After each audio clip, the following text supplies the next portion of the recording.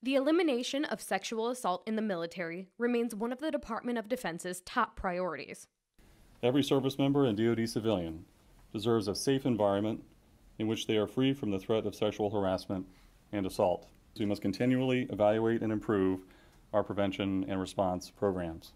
Some of the new initiatives include creating a legal advocacy program to assist victims with the legal process when prosecuting sexual assaults developing changes to the manual for courts martial, allowing victims to give input at sentencing, and implementing policies that allow for reassignment of those accused of sexual assault to help eliminate continued contact between them and the victim. You can read all of Secretary Hagel's initiatives at Navy.mil.